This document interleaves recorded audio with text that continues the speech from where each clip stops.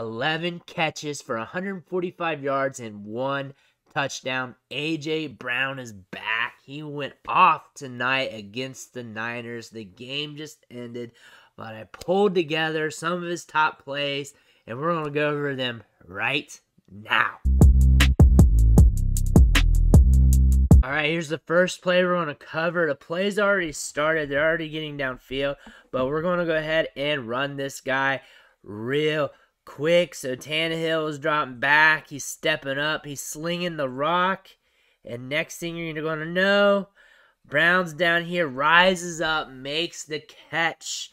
Another strong catch at the catch point, bringing it down with those hands. Again, AJ Brown's one of those dudes who bodies up DBs. And look at the toss here by Tannehill. Deep ball, allowing Brown to go up and get it. But him climbing the ladder, out muscling defenders is something we're going to see every day. Here's the next play we're going to cover. Still 10 nothing Niners. Still early in the game. Brown's in the slot at the top of your screen. He's on ball. Let's go ahead and run this guy. Nothing special coming off the release. We lose him. Tannehill slings the rock.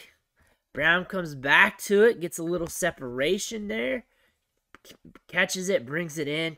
Now he's looking to get that yak, gets the yak after the catch because that's what he really specializes in bodying dudes up at the catch point and getting those extra yards after the catch. Here's the next play we're going to cover.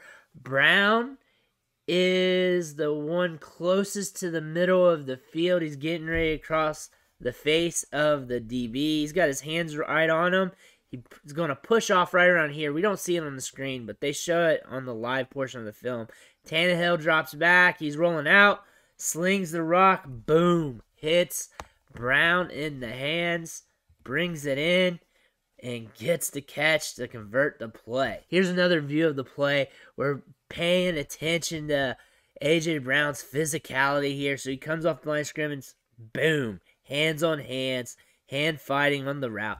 Now they're tied up on each other. So what's he going to do? He's going to get even more physical and bam, slams him down, finishes his route, catches the ball. You love it when a wide receiver's assertive, when he's really going to just get dirty and gritty, just like A.J. Brown there.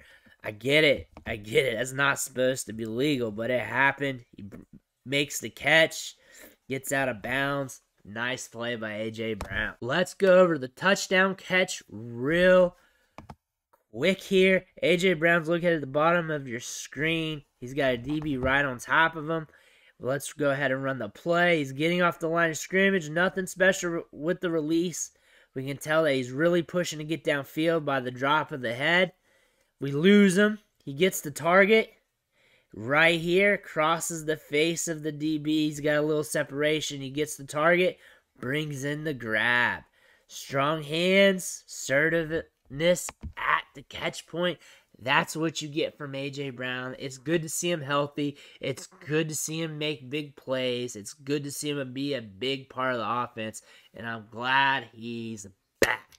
I want to thank you for watching the show, sticking with me. Make sure you hit that subscribe button on the way out. It fuels me to keep pumping out this content.